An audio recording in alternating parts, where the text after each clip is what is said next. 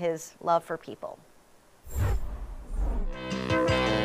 He's a character on the rodeo scene I love entertaining people. I love to have fun, you know. and in real life. I'm 88 years old, And how long? but I married a younger woman. Oh. I love younger women. She's 87. Rick Young, the Ragin' Cajun rodeo clown, has since retired his makeup after nearly 70 years. And, fi- and I've turned down five this year. Nobody wants me to quit. But the jokes, well, those live on. He said, Tickfaw, Louisiana, where's Tickfaw?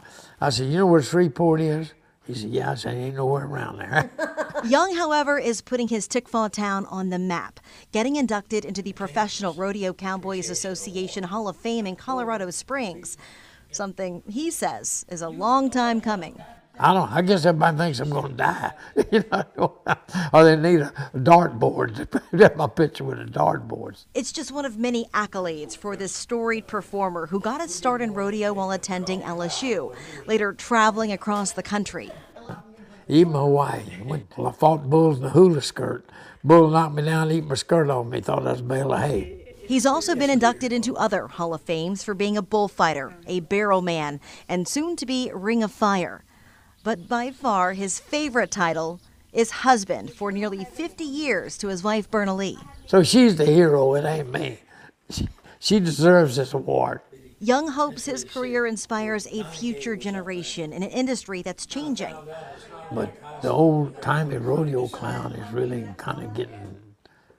There's a bunch of them is fading out, you know. He's also ready for the next chapter, reminding everyone to stay forever young. You know, you love life and they'll love you back, and the good Lord takes care of you. Now he said he was like the raging Cajun. He also jokes now that he is the Asian Cajun. Nice. He's funny. He is he, he is definitely a character. Um, they're actually in Colorado Springs right now, and they're gonna have a gala tonight. He was saying all he has is his cowboy boots and his blue jeans, so he doesn't know what he's gonna wear to the gala. But tomorrow he gets that award. Yeah, congrats indeed. He's kind of got like a Clint Eastwood, John Wayne, you know, kind of vibe, but mix in with a little bit of the, the comedy as well, which is fantastic. But what a career. Yes, and just again a, a love for people because he said he's been a welcomed addition to many families across the country for so many years. So thank you for opening up your home to us.